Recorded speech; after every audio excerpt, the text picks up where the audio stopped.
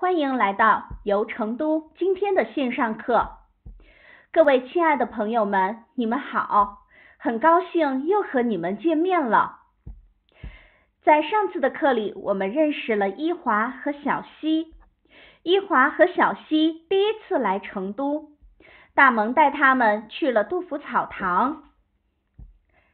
那今天他们要去哪儿呢？让我们跟一华和小溪一起走进第二课《武侯祠和锦鲤》。我们先来看一下课文吧。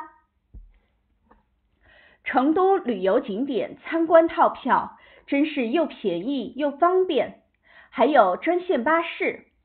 我们从杜甫草堂到武侯祠只用了半个小时，车坐起来特别舒服，还有导游免费介绍。嗯，我们去别的景点也坐这个车吧。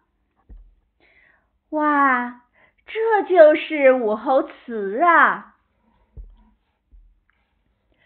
逛完武侯祠，我们再看看旁边的锦里古街。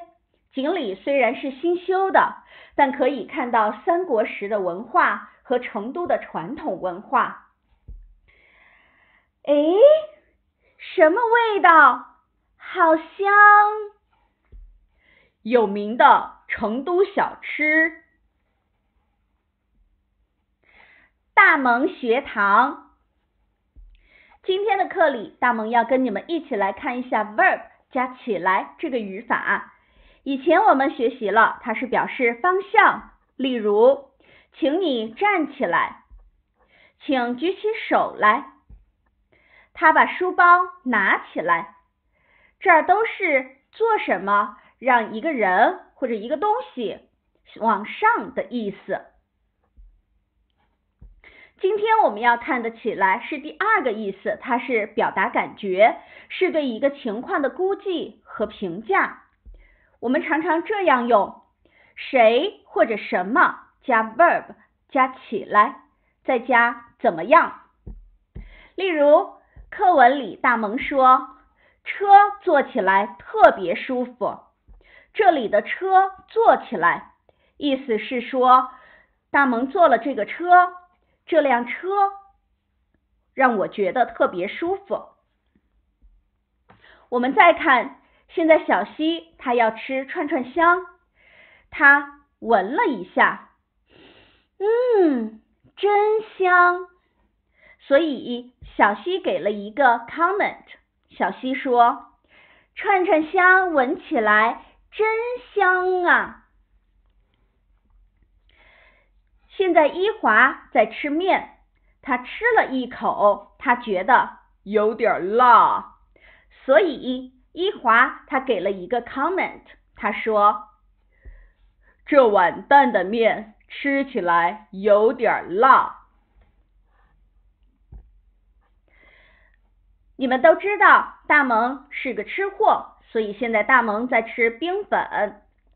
大萌觉得呀，冰粉吃起来又甜又冰，夏天吃它太舒服了。今天大萌要去春熙路，所以大萌得好好打扮打扮。出门的时候遇到了一个朋友，他告诉我，他说：“大萌。”今天你看起来非常可爱。大萌听了以后非常高兴。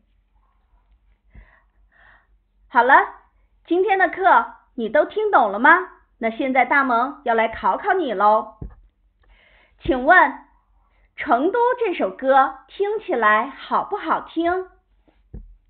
请问《游成都》这本书读起来有意思吗？再请问，你的哪件衣服穿起来特别舒服呢？跟大萌学汉字。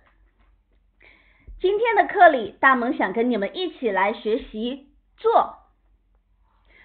我们先来看一下怎么写这个汉字吧。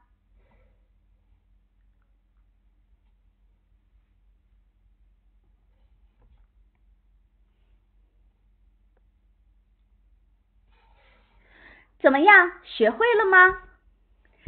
现在，请跟大萌一起来看一下这幅图。这幅图里有两个人，这两个人他们坐在地上，所以这就是我们的汉字“坐”。请再看，这是人，人它也是一个 radical，我们常常写在左边。这个 radical 它的意思就是 person。请再看这幅图的下边，这是土。我们常常写在下边或者写在左边，它也是一个 radical。土这个 radical 它的意思是 earth。怎么样？